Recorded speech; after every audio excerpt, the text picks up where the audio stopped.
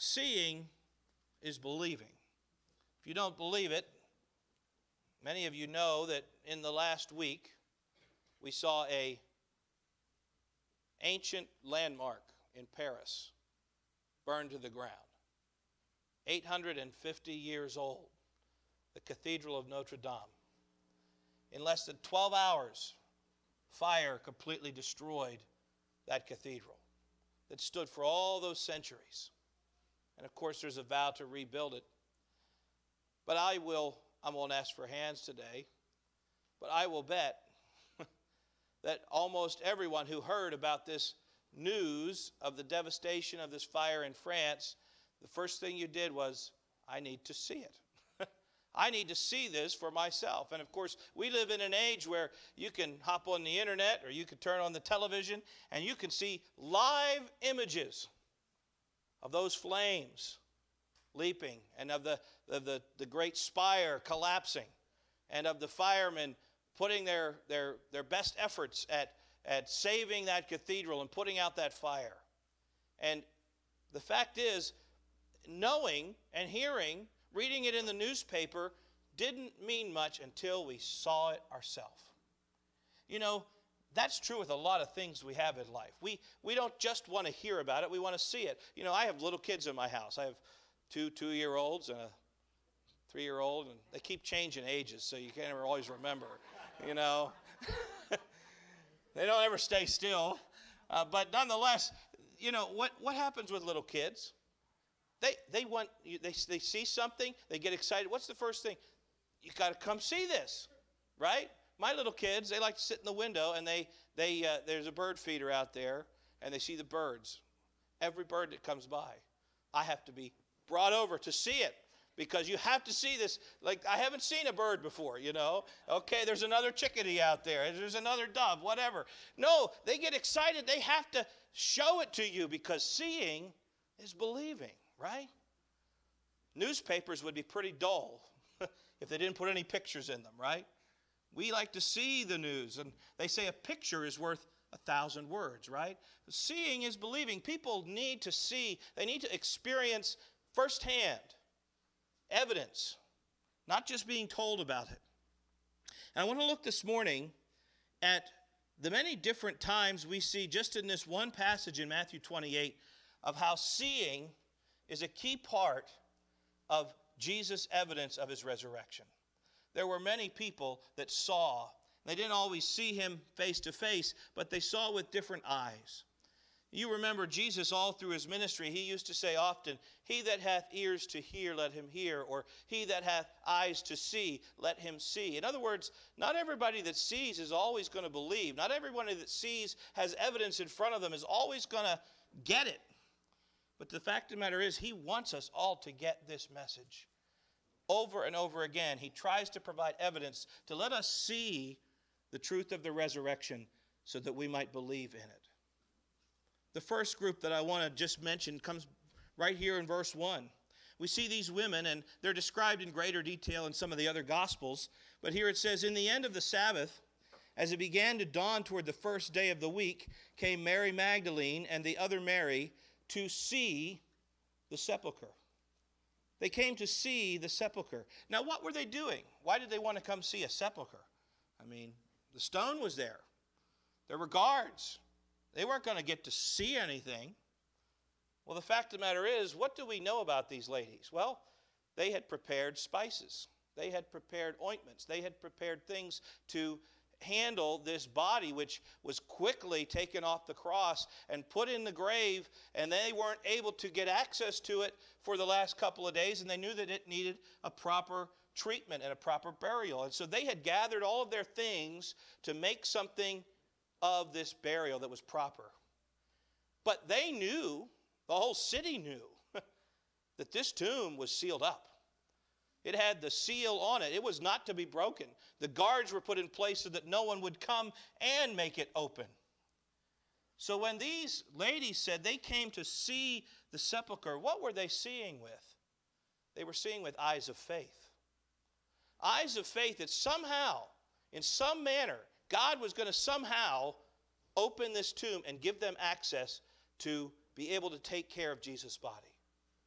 They had to come with eyes of faith.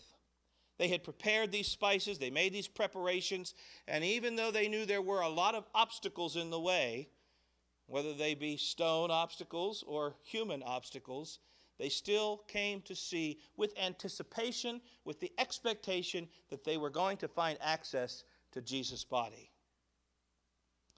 You know, that asks the question of us how often do we see beyond our circumstances with eyes of faith? Does we see beyond the obstacles in front of us that maybe life throws our way, and we see something beyond that? We see maybe something that God wants to do in it.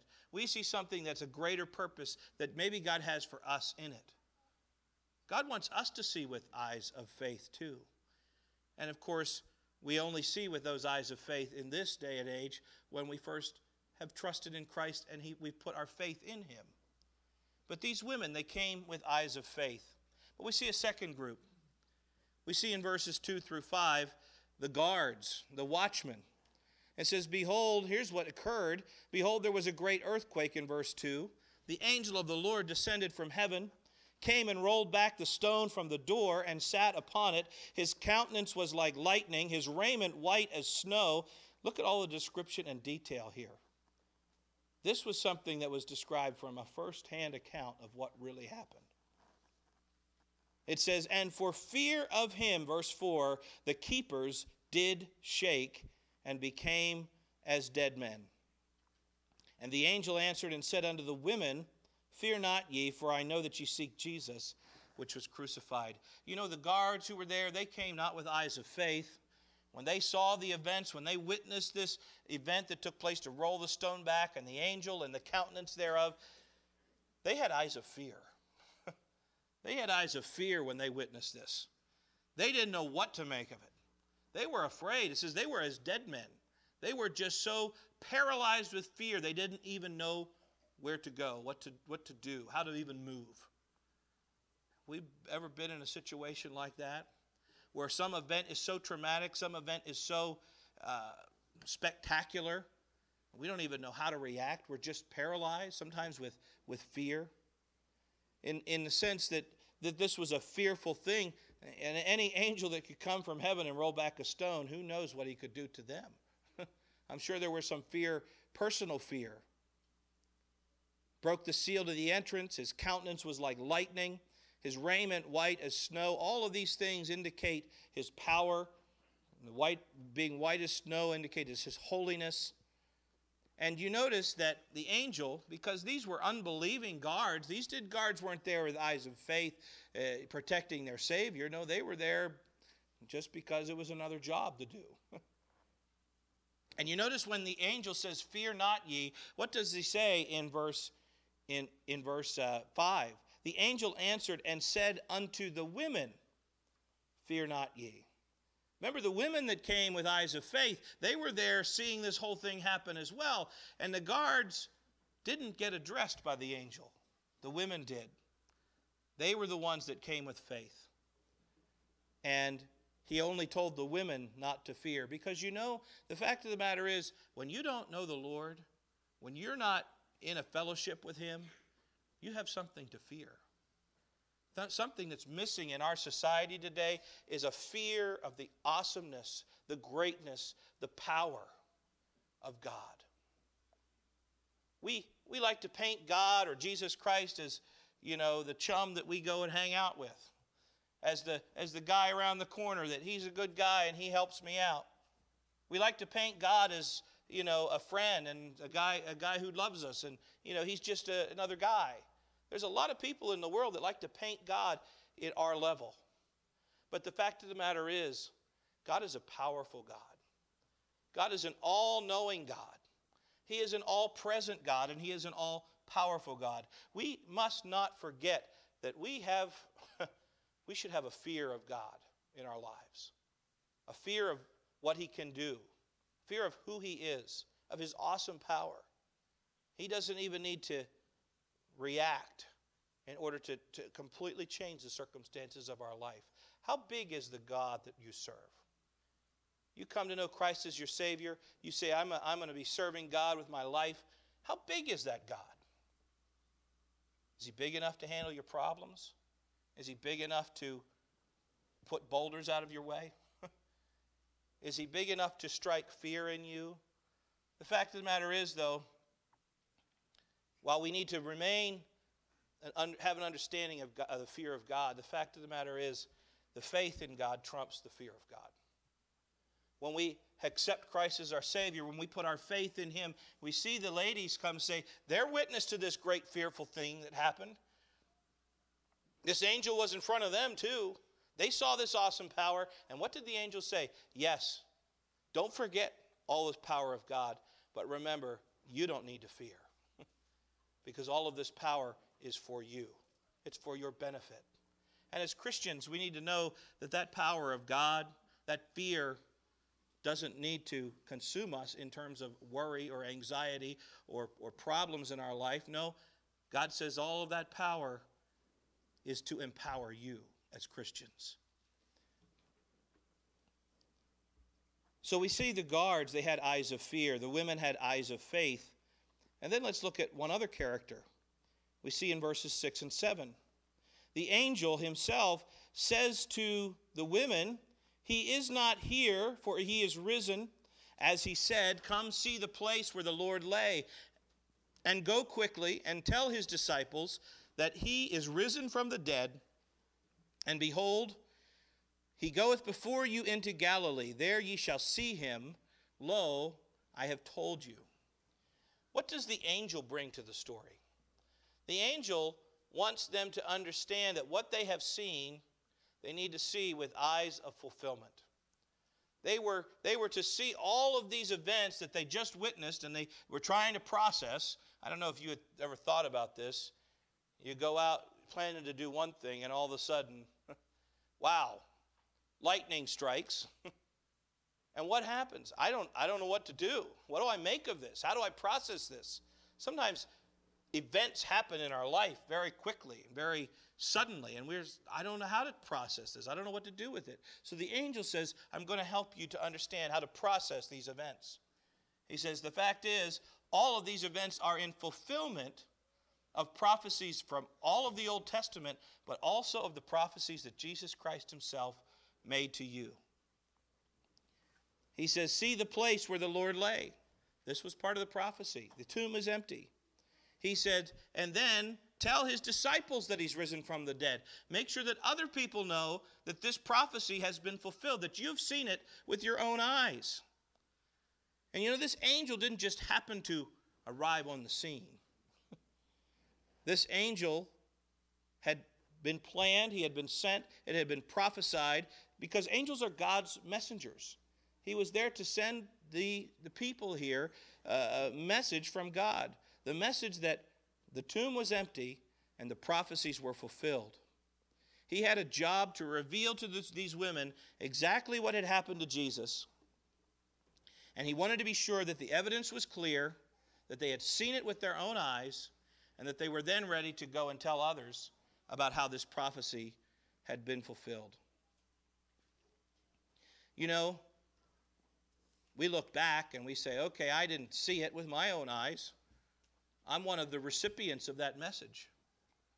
Just like originally, only the women saw the tomb. Of course, we know Peter and John eventually came and they saw with their own eyes, but there were a lot of people who became believers even in the early church that didn't see that tomb that day, didn't hear that message from that angel in a personal way, but they were recipients of the message. They got the message from someone else who passed it to someone else. And that went on and on and on through the ages until here we sit today. We got that same message that the tomb is empty, that the prophecies were fulfilled. That angel's message continues to ring for us today. But when we think about how Christ fulfilled this prophecy, we need to be often reminded of the fact that there are other prophecies in Scripture that are yet to be fulfilled. Are we always looking with eyes for fulfillment of prophecy? Are we watching for Christ's return? The Bible says that there is a day when Christ will come back to this earth and he will set wrong all of those things that are that set right all those things that are wrong. He will he will ultimately set up his kingdom here on earth. That's why in Mark 13, Jesus says to, to his disciples while he was still teaching, he says, Take heed, watch and pray, for ye know not when the time is. For the Son of Man is as a man taking a far journey, who left his house, gave authority to his servants, and to every man his work, and commanded the porter to watch. And what's the key word? Watch. See. Be looking Watch ye therefore, for ye know not when the master of the house cometh, at even, at midnight, or at the cock crowing, or in the morning, lest coming suddenly he find you sleeping. And what I say unto you, I say unto all watch. Use your eyes. Be looking forward. Don't just be looking at what your life is about today, be looking forward in time.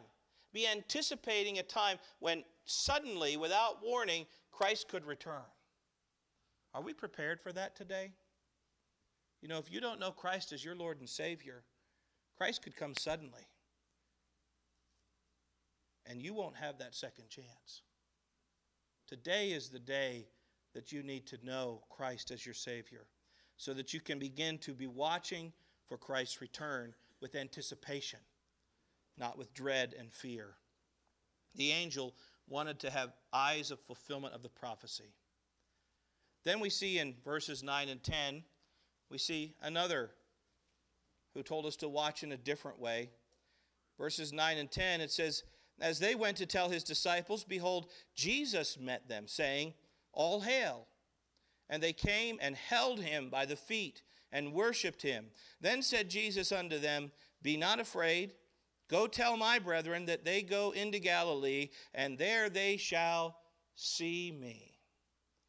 Jesus himself wanted us to come with eyes as well. And with the sake of his disciples, for the sake of giving evidence, he says, I want you to have eyes on my flesh, on who I am, my physical being, my physical body. That's why it's so clear in Scripture. It says, when they saw him, it wasn't just like, oh, there's some vision out there there's some ghostly presence, looks like Jesus. We'll count that as resurrected. No, Jesus says, I'm right here. I'm going to be so close to you that you can grab me around the feet and worship me. That's what it says they did. It says they came and they held him by the feet. With their own hands, with their own eyes, they worshiped him. Physical touch, physical flesh and blood. Jesus Christ was resurrected. He was unfazed by that cruel punishment, the death that he endured, the entombment that he went through. He was resurrected. You know, I think this is one of the other great um, um, truths of the resurrection.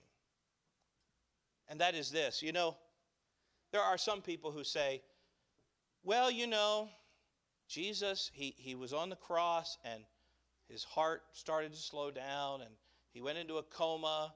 And so they took him down and they put him in this tomb. And, you know, that cold air in the tomb and all that helped to revive him. And he got himself awakened and got out of there and took these grave clothes off. And he got, they, they want to paint a picture that he didn't arise, that he survived. but the fact of the matter is, what would a Christ who survived look like?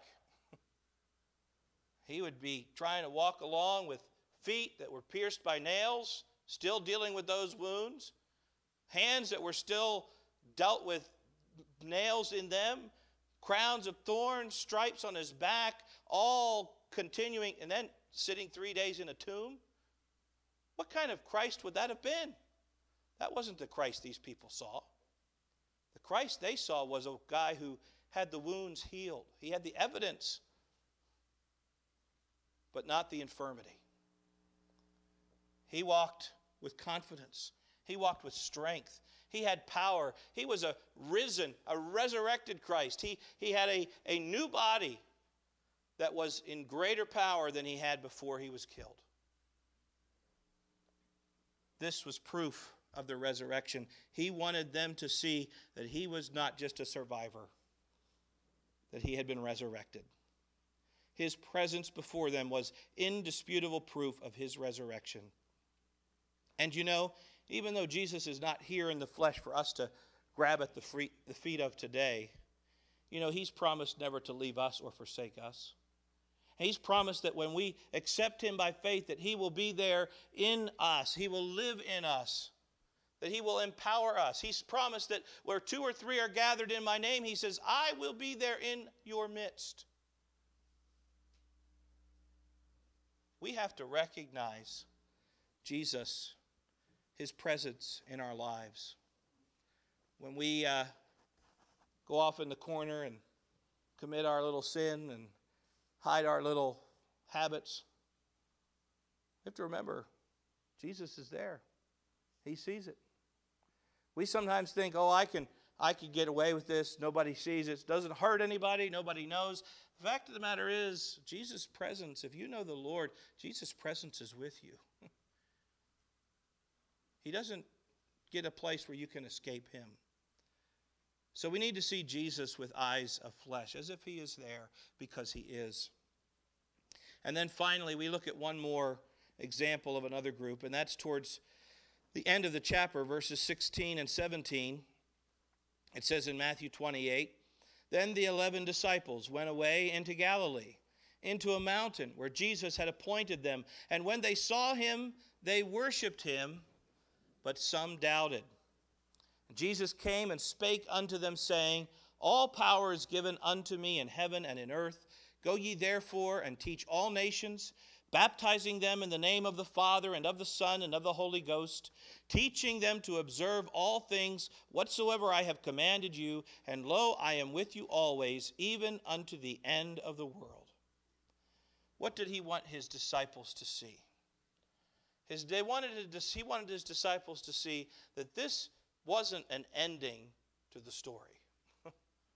he wanted them to see eyes, have eyes for the future, eyes for what was coming next. You know, that day that he died on the cross, many of the disciples felt like, game's over. Hope is lost. There's no chance. He's dead. It's all over. It's done. We're probably going to get persecuted and beheaded as well. But when Jesus Christ came back, when he showed himself to them, and then he put a purpose ahead of them that says, Here is your future.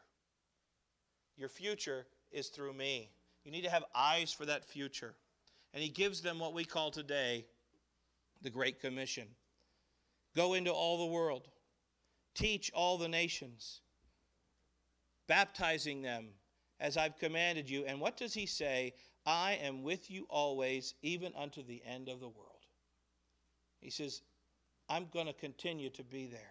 And every time you see a victory, every time you see you see someone coming to Christ, every time you see me at work, you're going to realize that I am. I am still active. Even though you won't see me in the flesh, you're going to see through all of these experiences that you have as a church that I am still there. Jesus, they're seeing Jesus started a, a movement of faith that ushered in the church age. And it's given hope to millions of believers for these past nearly 2,000 years. We wouldn't be sitting here today if there wasn't a resurrection. We wouldn't have a church building on this property if there wasn't a resurrection, because there would be no truth to proclaim there would be no hope to share. There would be no new life that we can have in Christ because our Christ would have been died and dead, buried, gone in the grave. No, we serve a living Savior. We serve a risen Savior. He's in the world today. And no matter where we go, if we know Christ, we know that we have Him available working through us. That's why Paul says in 1 Corinthians 15 14, he says, If Christ be not risen, then is our preaching vain, and your faith is also vain. All that we believe hangs on the truth of the resurrection, hangs on the fact that Jesus Christ is alive. And he sits now at the right hand of the God the Father, and he ever lives to intercede for us. You know, it's easy to say some of these things. It's easy to Okay, it's, it's Resurrection Sunday. We're back in Matthew 28, and we're reading these words again, and we say, boy, it just doesn't seem, I mean, it doesn't seem real to me. I mean, maybe it's uh, a good story, it's something we like to remember.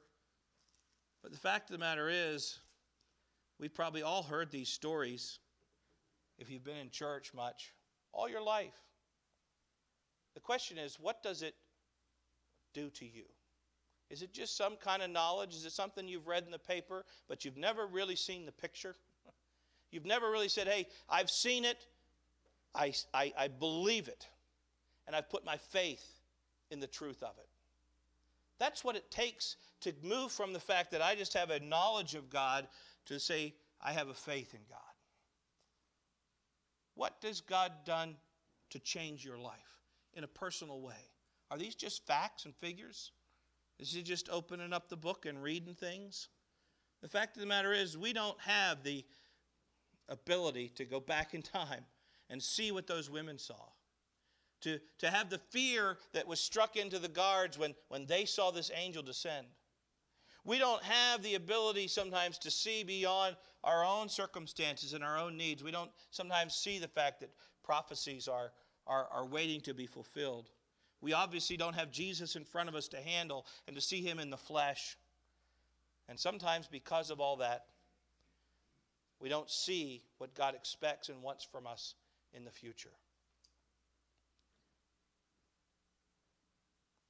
That's why in John chapter 20, we have one of the most famous doubters explain to us and the situation there. In John chapter 20, of course, we know the story of one of his disciples whose name was Thomas.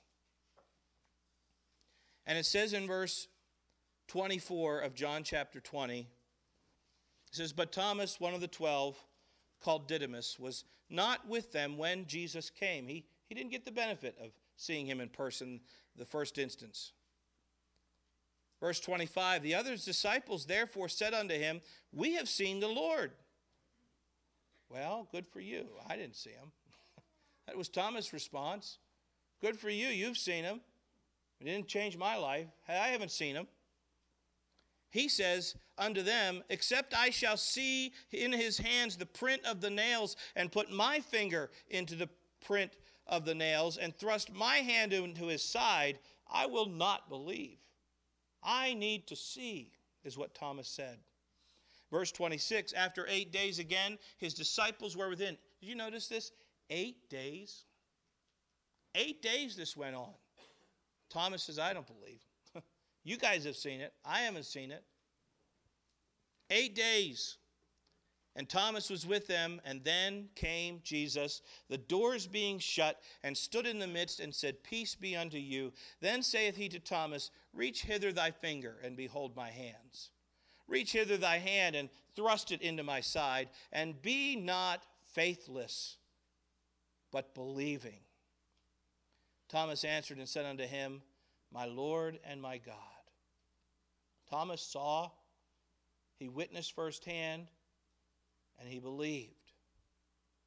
But now look at Jesus' response in verse 29 because this is the most applicable thing for us today.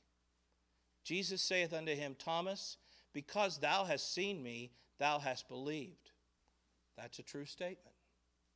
But what does he say? Blessed are they that have not seen and yet have believed. He's talking about us. People that didn't get the chance to feel his nails. We didn't get the chance to see the tomb. We didn't get the chance to have that first hand experience. He says, Blessed are they who have not seen and yet have believed. That look at this not just as fairy tale, not just as narrative, not just as a good story to celebrate once a year, but rather a belief and a faith in a risen Savior who can transform your life. The fact of the matter is, all of us are sinners. The Bible says all have sinned and come short of the glory of God. We know that Jesus Christ died on the cross to pay the penalty for that sin because God's a holy God. He can't have sin in His presence. And we can't have a chance of having uh, a home in heaven for, for eternity if we have that sin in us. So we have to be punished because God is a just and righteous God. That's why the Bible says the wages of sin is death, but the gift of God is eternal life through Jesus Christ our Lord. Jesus Christ paid the penalty, but when he rose again, he gave us the ability to have new life in him. And the Bible says, by grace are you saved through faith. That's not of yourselves, it's a gift of God, not of works, lest any man should boast.